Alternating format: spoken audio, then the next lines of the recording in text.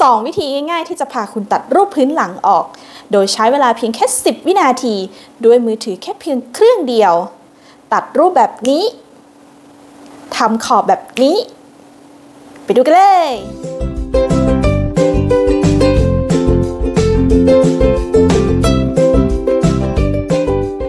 แต่ก่อนที่จะไปชมก็อย่าลืมกดติดตามหรือ Subscribe เป็นกำลังใจให้ PM Variety ด้วยนะคะ มือถือที่เราพาทำก็จะเป็น Android นะคะ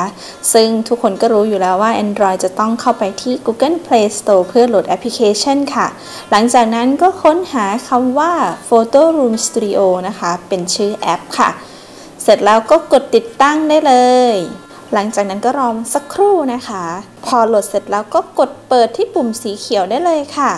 หน้าแอปขึ้นมาแบบนี้นะคะ แล้วก็ไปกดบวกที่เริ่มจากภาพถ่ายค่ะ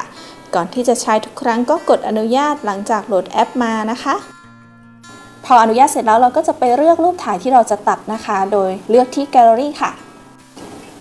เราจะเอาภาพจากอัลบั้มนี้นะคะ จะลองรูปนี้ดู รอสักครู่ค่ะ เสร็จเรียบร้อยค่ะเพื่อนๆ ง่ายมากเลยเห็นไหมคะ ไม่ถึง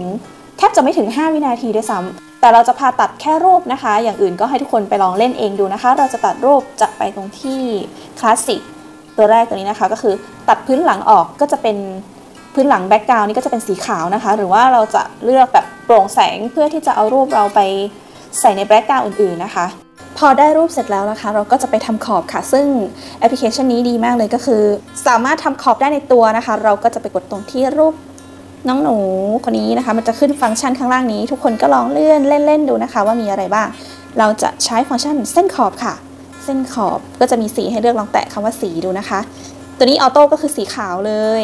ได้หมดนะคะ เดี๋ยวเราลองสีฟ้าแล้วกัน ขนาดตัวนี้ 10 นะคะ ก็เป็นขนาดกำลังดีเบสิกมาตรฐาน หรือว่าจะเอาหนาหนาหนาหนาก็ได้ นิดเดียวก็ได้ เดี๋ยวเราเอาเอา15 ดูนะคะ ทีนี้ก็ไปลองเล่นคำว่าเรืองแสงดูนะคะ ซึ่งมันจะเป็นแบบ ประมาณนี้ฟรุ้งๆ ใครไม่ชอบเส้นขอบแบบทื่อๆ ก็ทำเรืองแสงก็ได้นะคะ โอเคเรียบร้อยการใส่ขอบรูป ไปใส่ในปกนั้นปกนี้ที่คนนิยมทำใน YouTube ก็เยอะแยะเหมือนกัน ต่อไปก็จะกด save ค่ะ เครื่องหมายข้างบนนี้ แล้วก็บันทึกไปยังแกลเลอรี่ค่ะ เรียบร้อยกด home ออกเลยนะคะ เราก็จะไปลองเล่นอลองแปะใส่ background อื่นๆ ดูนะคะว่ามันทำได้ไหม เดี๋ยวจะลอง เอาทะเลแล้วกัน ตัวนี้จะเป็นมือถือซอๆนะคะ ซึ่งสามารถเพิ่มรูปในรูปที่เราถ่ายได้เลย เราจะไปลอง อันนี้โชว์เฉยๆนะคะ ทุกคนไม่ได้ใช้ก็เดี๋ยวลองวิธีอื่นดูเนาะ รูปที่เราตัดมาจะอยู่ในอัลบั้ม Photo Rooms ค่ะ ก็จะเป็นประมาณนี้ เนี่ค่ะทุกคน เนียนมากๆเลย ใช้เวลาแป๊บเดียวก็ได้รูปที่สวยงาม เดี๋ยวเพื่อนๆก็ลองไปทำลองไปเล่นฟังก์ชันอื่นๆ ของแอปพลิเคชันนี้ดูนะคะ เสร็จวิธีที่ 1 ค่ะ วิธีที่ 2 นี้ก็คือดีมากๆเลย ไม่ต้องโหลดแอปมาให้เปลืองพื้นที่นะคะ เราจะไปค้นหาวิธีการทำที่ Google ค่ะ แล้วก็พิมพ์คำว่า remove bg นะคะอะมันจะขึ้นมาเลย bg ก็ย่อมาจาก background นะคะ ก็เลือกเว็บไซต์ตัวแรกนี้เลยค่ะอัปโหลด image ค่ะ เปิดดูก็ไปเปิดรูปในอัลบั้มที่เราอยากจะอยากจะ remove นะคะ เอารูปเดิมหรือเราจะเอารูปเดิม จะได้รู้ว่าความแตกต่างมันเป็นยังไงนะคะ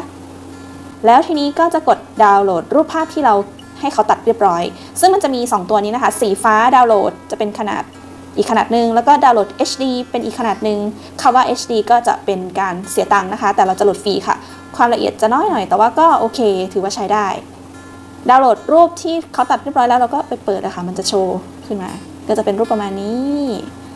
แล้วเราจะลองเอาไปใส่ background เหมือนเดิมกด home ออกหา background เอาภูเขาก็ได้อะภูเขาแล้วก็มือถือซอๆมันดีมากเลยอะ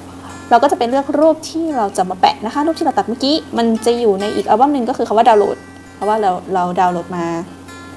ก็เลือกรูปนี้เลยนี่ค่ะ เสร็จอีกหนึ่งวิธีก็เนียนใช้ได้เลยนะคะ ก็โอเคมากๆเลย ซึ่งเป็นวิธีที่ดีมากๆเราไม่ต้อง เราไม่ต้องโหลดแอปพลิเคชันมาให้เปลืองพื้นที่นะคะ เข้าเข้าเว็บ Google แล้วก็พิมพ์คาว่า remove bg ได้เลย หรือถ้าใครอยากโหลดแอปก็ได้ ชื่อแอปก็ชื่อเดียวกันก็เข้าไป Google Play Store ชื่อแอปว่า remove bg เหมือนกันค่ะ เป็นยังไงกันบ้างคะวิธีที่เราพาทำถ้ายังไงก็ลองไปเล่นดูนะคะ ถ้าทำไม่ได้ก็คอมเมนต์ไว้ใต้คลิปบอกเราได้เลย ขอบคุณที่รับชมค่ะ บ๊ายบาย